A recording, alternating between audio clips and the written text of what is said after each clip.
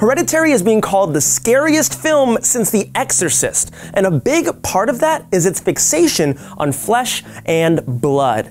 No, not that kind. I'm talking about family. From The Shining to sinister, family focused horror films are cut above in terms of terror. But what makes them so much scarier than your typical slasher?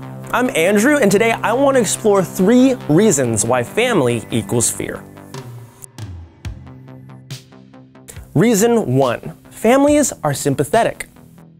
As you can probably tell from our How to Kill series, we're big fans of 80 slashers here at Now This Nerd, but we watch them for different reasons than family horror films. Those tend to be more cerebral and psychological. They rely on disturbing imagery as opposed to just gore or straight up brutality. Slashers, on the other hand, are much more fun than frightening. We love to cheer on the killer as he tears through his prey, which are usually a gang of obnoxious teenage tropes. Slasher victims drink, they smoke, have premarital sex, they're mining bitcoins, they're, they're just generally assholes, which is why it's so damn entertaining to watch them get slaughtered by a maniac in a mask.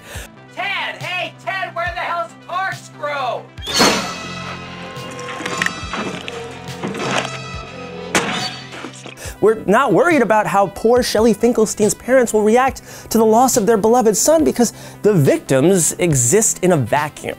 If you want to terrify the audience rather than thrill them, you need protagonists that you can relate to. And what's more relatable than a family?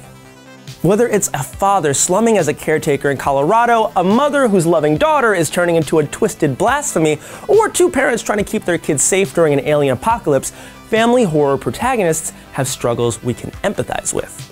Each member is more fleshed out than your average Freddy fodder, and it's much easier to see ourselves in their shoes, which makes it way more unsettling when shit hits the fan. We all have a family. Take a look at Banner, Michael! Or know a family, and when bad things happen to them, it hits close to home. That brings us to point two families are safe. So many family horror movies are centered around the home, and the fear comes from seeing a traditional safe space invaded by unholy horrors. Look, you don't need a Skype call from Vincent D'Onofrio to tell you why haunted houses are scary. Named Bughuul, the eater of children. Did you say eater?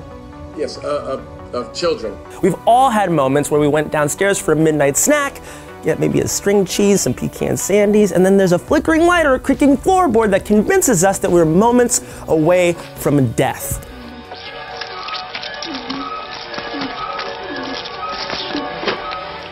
Family horror takes that feeling and amps it up to ludicrous degrees. Luda! Luda! I mean, the Paranormal Activity series got six whole movies out of it. Home is supposed to be a haven, a place you can always return when the rest of the world becomes too much to handle. But if a hell gate opens up in the basement or a bunch of dead kids start screening snuff films in the attic, it's a desecration of your most secure sanctum. And as frightening as it is to see horrors in the home, it's even scarier when it's coming from a family member. You know what she did? Your c***ing daughter? The granddaddy of this trope is, of course, The Shining. The Torrances aren't exactly the Cleavers, but at the start, they're a loving family trying to work past Jack's alcoholism and history of abuse. Because he said, uh, Wendy, I'm never going to touch another drop. And if I do, you can leave me. And he didn't, and he hasn't had any alcohol in uh, five months.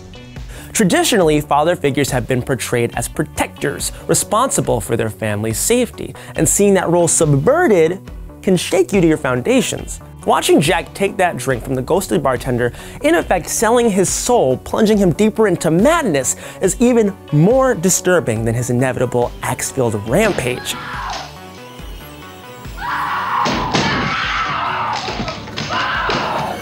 Here's Johnny. That's not to say that dads have all the fun, though. Dads, come on, dads have a lot of fun. Horror movies have had plenty of murderous moms, too. Take the Babadook, where a mother's grief manifests as a sinister, sharp, snazzy dressed demon that almost makes her strangle her son. At least until she vomits up the devil inside her in a heartwarming, revolting display of love. Parents are put on this earth to protect their offspring, and the only thing scarier than seeing them threaten their terrified tots is a killer kid.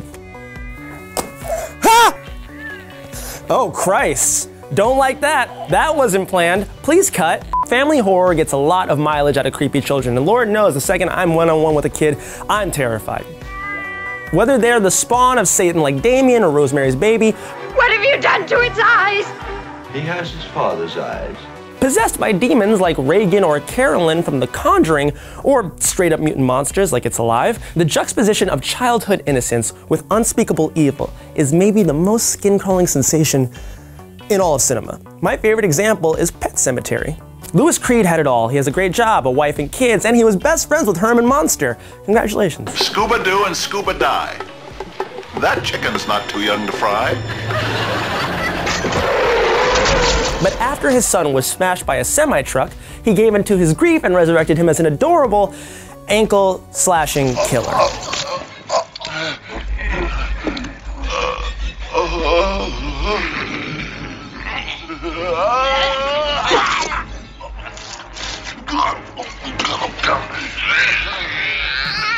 Even in the face of tragedy, his wife and daughter were still there for him, but his hubris destroyed it all in one horrible night. Lou introduced the unholy into his otherwise perfect family, and it costs him everything, which brings us to the last reason family horror is more frightening. Families are sacred. The idea of a traditional nuclear family is becoming more antiquated with each passing year. Where's my dinner? But certain tropes run deep in our cultural experience. And after millennia of evolution, our species has put the concept of family on a pedestal. It's embedded in our DNA, and it's deeply disturbing to see that perverted. One of my personal favorite scary tropes is the cannibal clan. You know the ones. They're a group of horrifying hillbillies who gather around the table for a nice feast of uh, human flesh. The Sawyers in the Texas Chainsaw Massacre are undoubtedly the most famous example, even though their boy Leatherface gets all the glory. But he's only able to accomplish his dreams through the loving support of his crazy fing family. The Sawyers have had a huge influence on horror, from the fallout ridden freaks of The Hills Have Eyes It's breakfast time.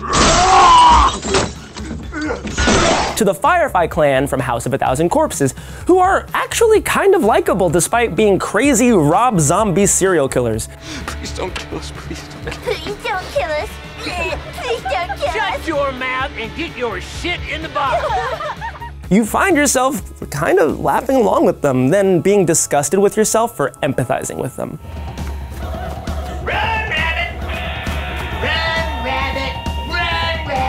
Freaky families aren't limited to film either. One of the most disturbing episodes of The X Files was simply called Home, where Mulder and Scully investigate the Peacock clan.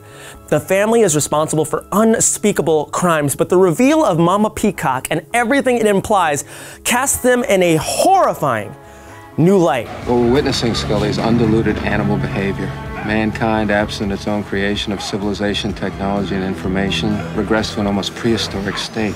Through inbreeding and insanity, they've reverted to their base animal instincts and devolved into a feral family that makes a mockery of the values we supposedly hold so dear. Now we have to move on.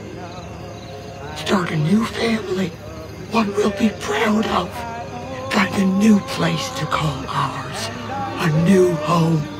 Zombie redneck torture families, to quote my favorite, Cabin in the Woods, are disturbing because they're the polar opposite of the stereotypical ideal. It's borderline blasphemy as opposed to the witch, which is actual blasphemy. After a witch uses their newborn for exfoliant, Thomasin's family begins a slow descent into satanic madness with some of the most shocking imagery I've ever seen in a film. You'll never look at apples the same way again, I can guarantee it. The Witch is a shocking perversion of family and faith. And if you don't believe me, just ask Black Phillip. He's a goat. Black Phillip, Black Phillip, tonight the queen is wedding. He's a goat. He's also the devil. He's also the devil. Wouldst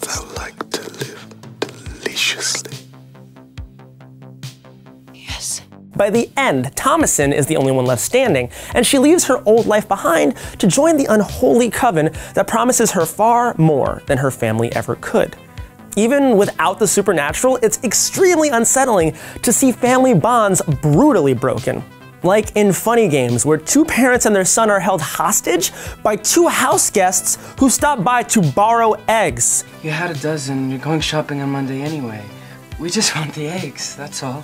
I learned this from growing up in the Bronx. Rule number one don't let anybody come into your house and borrow anything, especially eggs. You better be careful, old man, or I'll break your eggs. Now please leave. Mr. Farber. What? They're forced to engage in horrific violence against each other, completely powerless in their comfy Long Island home. Bronx rule number two don't ever find yourself in Long Island. The name of this game is whether by knife or whether by gun. Losing your life can sometimes be fun.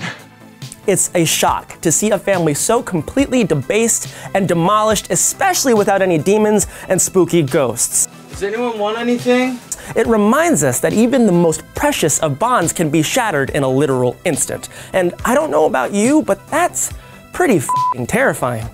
Throughout the history of horror cinema, the family has existed as an ideal to twist and tear down foundations meant to be broken. And Hereditary mixes all of the classic family horror tropes into one sinister brew.